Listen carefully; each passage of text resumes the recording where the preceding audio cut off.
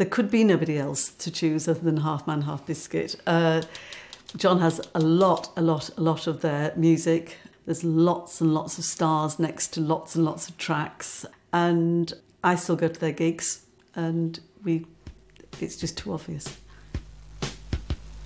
What did God give us, Neil? God gave us life, Nigel. Sure did. A one, No chance of getting a job in those days. It was Thatcher's Britain. We were happy enough just doing this sort of thing. It was uh, just me and a chap called Neil, Neil Crossley, who's still in the band now. God gave us life. God gave us life. We had this demo tape at a cheap rate price, about 30 quid, I think it cost. We thought, oh, it'd be a laugh to just, just take it round. And we took it to Factory Records, actually, because we were big fans of all that kind of stuff, you know. And uh, they were okay with it, and, you know, but we knew we wouldn't, you know, obviously nothing would come of that. Uh, and eventually we took it into Geoff at Probe, not, not really thinking anything of it. And as soon as I heard it, I loved it, basically. The first track was God Gave Us Life, which goes on God Gave Us Life. One of the things was to, to men, so that men in big coats we can take us to the woods to stalk non existent puppies. God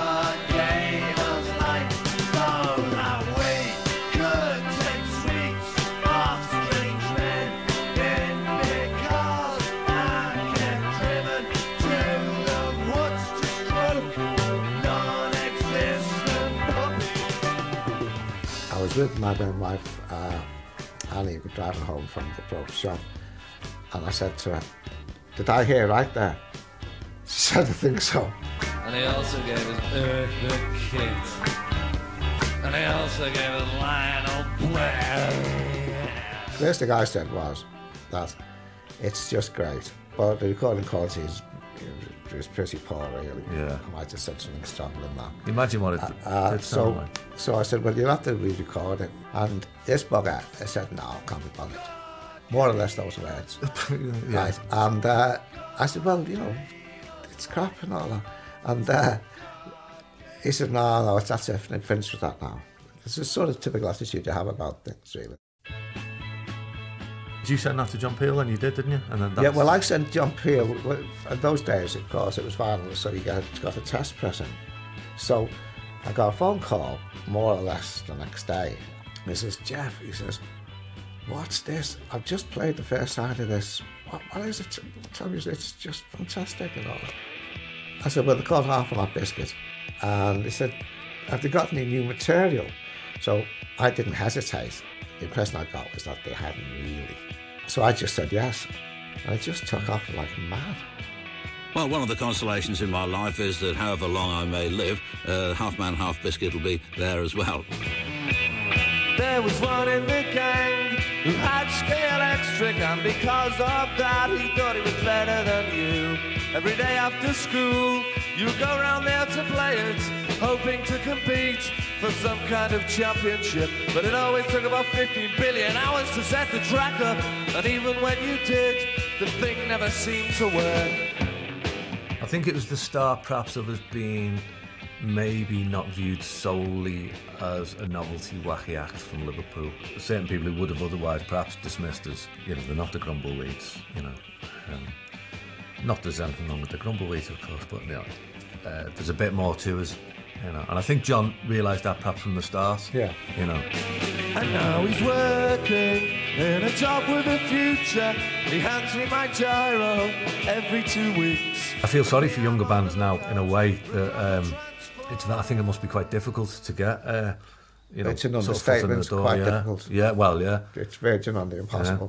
Whereas, at least when we, we when we were young, you could you could have that possibility. Even as we were saying before, of having such an amateur sounding, I suppose, uh, could have been worse, couldn't it? But an amateur sounding, looking, uh, appearing outfit like ourselves being played on national radio. Um, you know, it, it was both fascinating and thrilling at the same time, uh, and possible. We, we were kind of uh, not pleasantly surprised, more pleasantly shocked to hear ourselves on the radio. You know, it was getting our heads around that. It got us to think: Do we now, you know, think about what we're doing, and do we kind of start doing different types of songs? And but because of the things John would say after each song he played, we thought no, because he's enjoying that, what we're doing at the moment. So why change it? Let's just, you know, sort of carry on doing the same thing. Nigel, tell us more. Give us the title of the LP again first before we go any further. Um, the LP will be called Voyage to the Bottom of the Road. That's right. And uh, it's released when? Um, sometime November? Exciting plans to to, to uh, promote the record? No. Right. No. Okay. I knew the answer. gigs. I knew the answer to that before I even asked it. I think his written word is criminally underrated, and his way with words. Uh, just to listen to his show, the things he's talking uh, about, and the wo- the things he's saying between songs, you know, uh, fantastic, very humorous. So much so, actually, I stole one of his lines for one of my songs.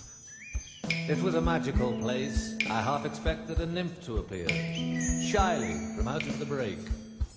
He was reviewing a program about an advice program or something. For, for, I don't know what it, even advice was on, but and then he just wrote the line, "Almost inevitably, Claire Rayner appears." And I thought, I'll have that, you know. Ah, that's where that come yeah, from, yeah, yeah, So I stole that, yeah. yeah. Sorry, but you know. But then almost inevitably, Claire Rayner appeared. Even now writing stuff, playing stuff, you think you think to yourself, um, you know, um, would this still have been uh, acceptable on John's show? And as long as we think it is, or it would have been, you know, we'll go with it. You know. They're hungry for 23 years. I've said it before. A national treasure. There's no question about it. When I die, I want them to be buried with me.